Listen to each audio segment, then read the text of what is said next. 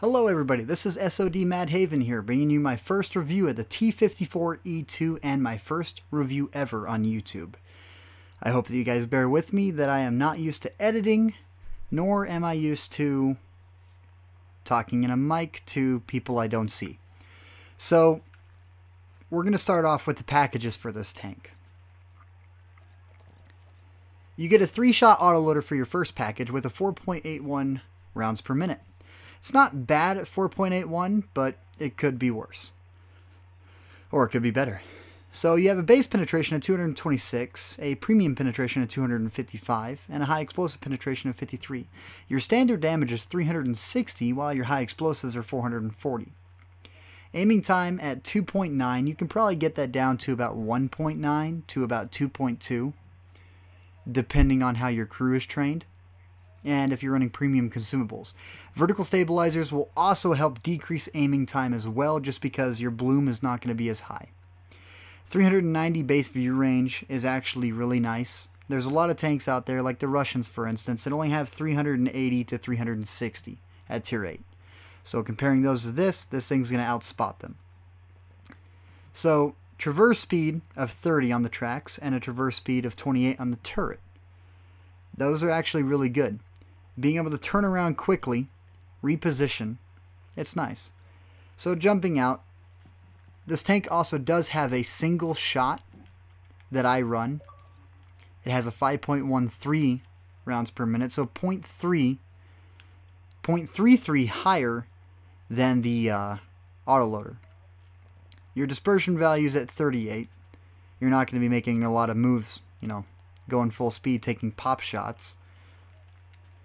Jumping over to the modules, let's take a look at the engine. So we have 16.15 power to weight ratio. That's actually really nice on a heavy tank, especially a heavy tank that has 17 reverse speed and 45 top.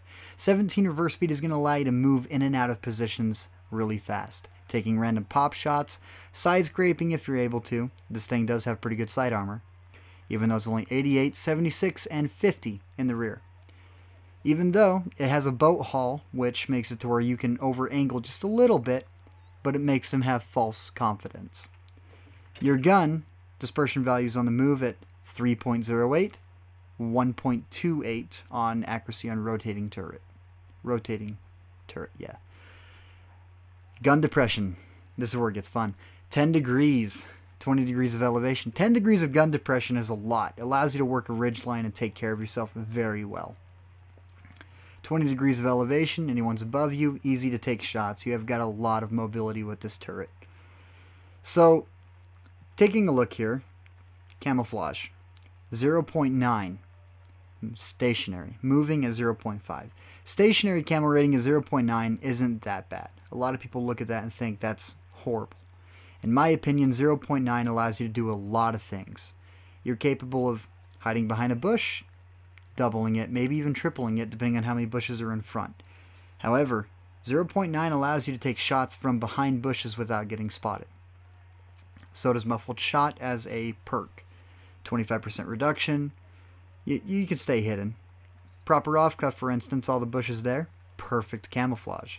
At 390 view range as well, you might be able to push along the bush line and spot people out. The signal range at 745 can help you out a lot with assist damage, but we'll get into assist damage later on. So your standard shell velocity at 1080 and high explosives at 1080, loading either of those, you're going to be used to the travel, so the high explosives will hit just as much as your standards. However, the premium rounds get 1380 meters per second. That is awesome. 1380 is equivalent to leading a tank half a tank in front and he's moving at 60 or 50 and you're going to be able to hit him. The armor on this tank, really nice, really confusing. 250 turret. This turret is fantastic. I've ricocheted a lot with this tank. I think my best game so far with ricochets was over 6,000. So 160 on the sides, they're, they're never going to go through it if you're facing forward. 190 on the hatch, too, keep in mind. A couple of places it's 190. It drops down to about 170. And then the sides of it are about 110 to 101. It's a really strong hatch, but don't rely on it. Don't pop out expecting them to bounce off it unless you know who you're going against. So I do have an Ace Tanker replay, but forgive me, as I said, that's jumping into a whole different area. So we're going to open up the back screen here. I'm using OBS, learning how to use it.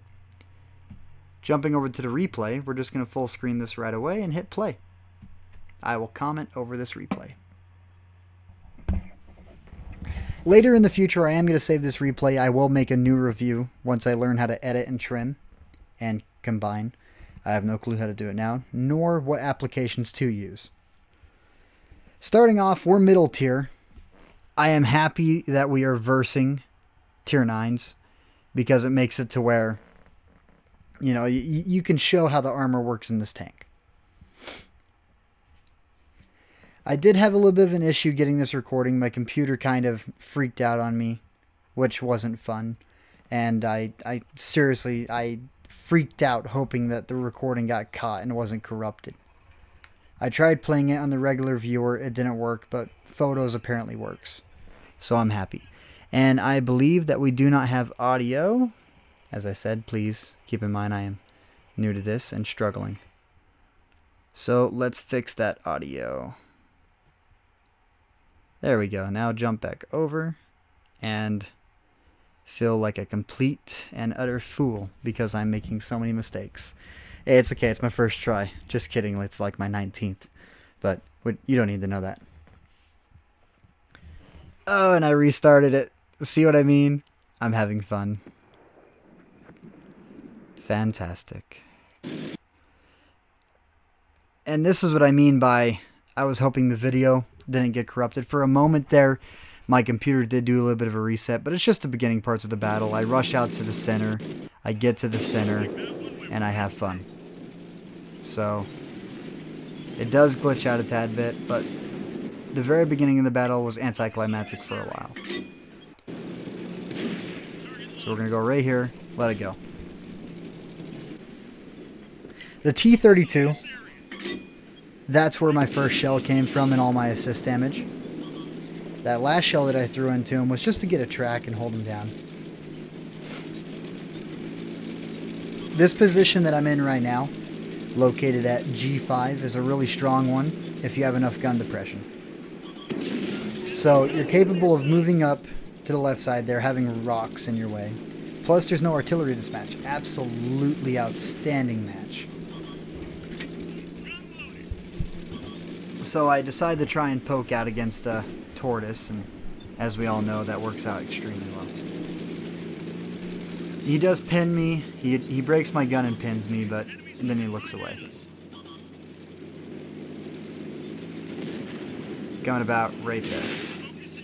So I stopped and I looked. I'm like, okay, where'd that go through? I didn't see any marks, which, as of recent, I haven't been seeing any marks to begin with. A lot of confusing shells that go through, and I can't see where they are. But he decides to turn around. I'm not going to fix my gun because of how far away everyone is. I don't need to fix it. I'm going to try and go for another lockdown shot, keeping him there.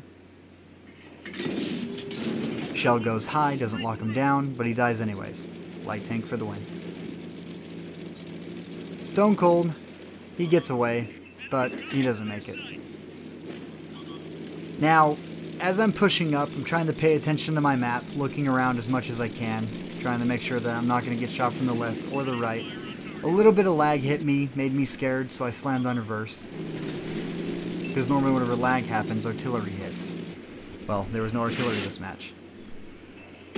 Took a shot from the left, probably from the E50. Pulled down the hill. Comfortable spot. Now, I have I was in a platoon of three at the time, so I'm playing with Blade and General. Those are the two people I mainly play with. Um, General went left, and Blade went right, just because we were like, we're in a tier 9. I'm not going to take it too serious. And well, near the end, I started to take it very serious.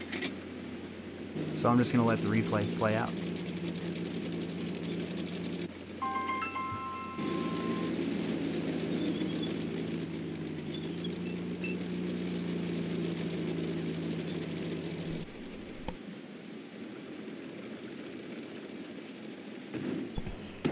Now pulling up to take a few pop shots at the T-28, I tried locking him down.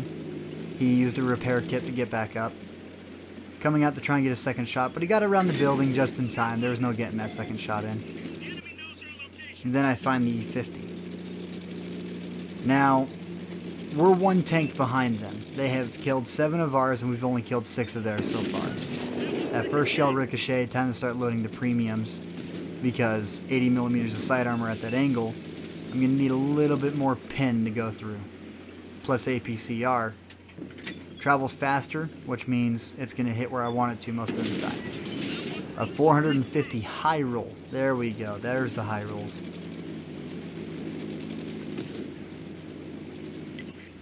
E50, thinking about locking him down. Unable to. But we're not going to let that, you know, concern us. We're just going to hold our position, try our best. Premium shell straight to the track, locked him down, plus we did damage. And a critical.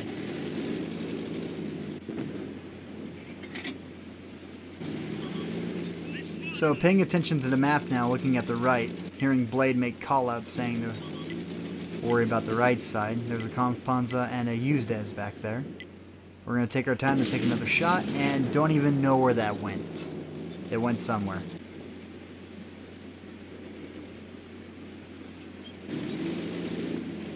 Now, at this moment in time, I'm thinking to myself, why is the Bog Whore pushing up that far? And, well, he died because there's tanks on the right that we, he wasn't paying attention to. He would have been better off trying to pull back near me and coming up the left side. So, I'm loading premium here.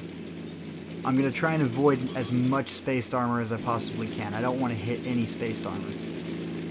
Hitting spaced armor with premium rounds usually guarantees an absorption, taking the time to hit the track. Lock them down, teammates are going to get a few pop shots in. Good lockdown. Tried aiming for the turret here, but I didn't pull the trigger in time.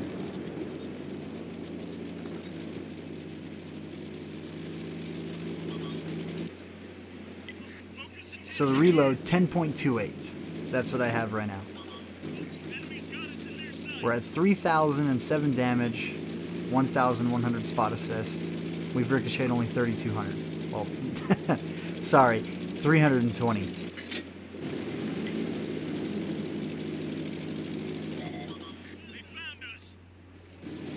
loading the high explosive because there's a lot of tanks in low health, and then without thinking I shot the barrel of the Demolisher.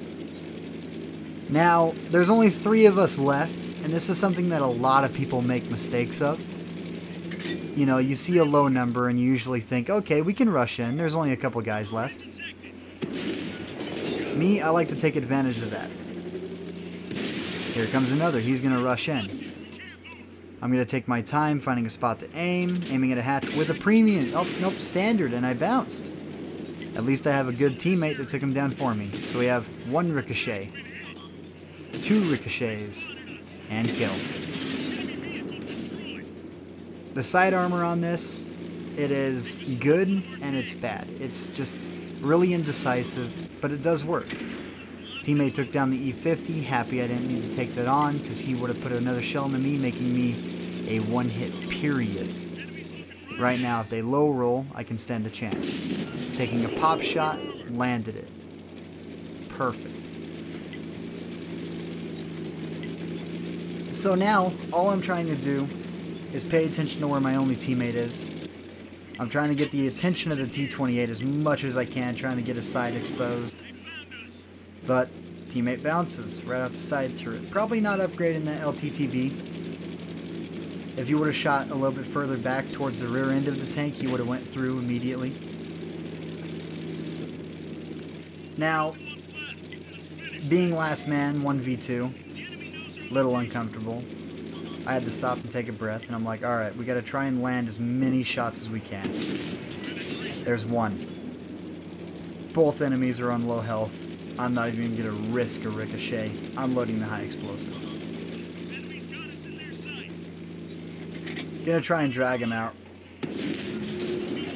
And he's taken down with a high explosive.